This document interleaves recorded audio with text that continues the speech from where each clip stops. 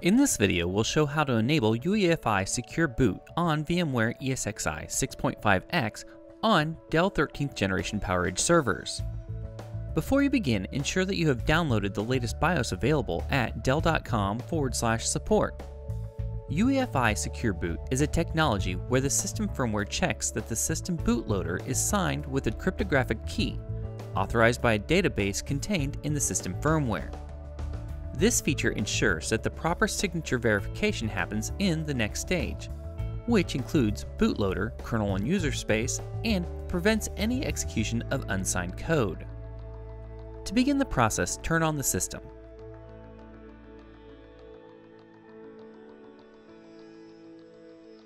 Press F2 to go to the System Setup page.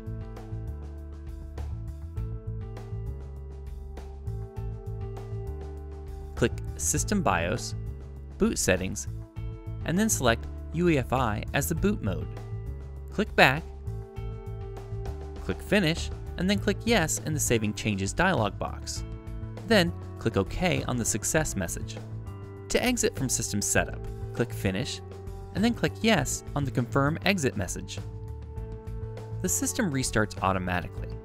Now, press F2 to go to the System Setup page click System BIOS, Boot Settings, UEFI Boot Settings, and then click UEFI Boot Sequence.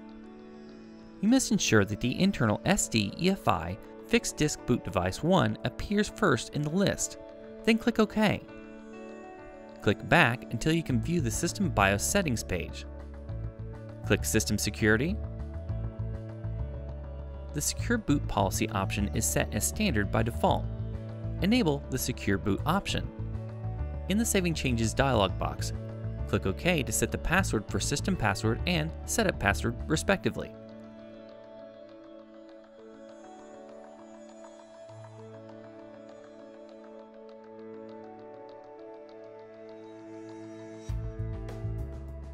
Click back. Click back again. Click Finish and then click Yes in the Saving Changes dialog box. Then, click OK on the success message. To exit the system setup, click Finish, and then click Yes on the Confirm Exit message. The system restarts automatically. Enter the system password.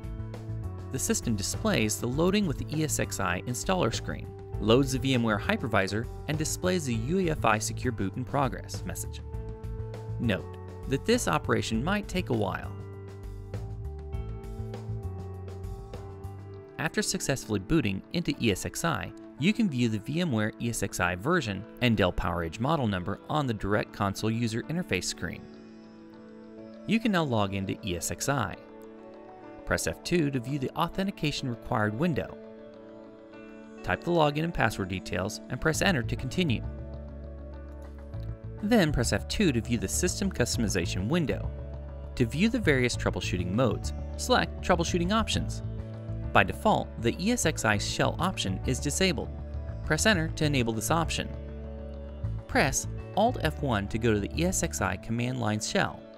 Enter the login and password details and press enter. Enter forward slash USR forward slash LIB forward slash VMware forward slash secure boot forward slash bin forward slash secureboot.py h and then press enter to view the help message. Using the same command, but this time dash C and then press enter to check if the host is ready to enable secure boot. Again with the same command, but this time dash S and press enter to check if UEFI secure boot is enabled. After these commands are executed, if the output displays that secure boot is enabled, then your system is protected with UEFI secure boot.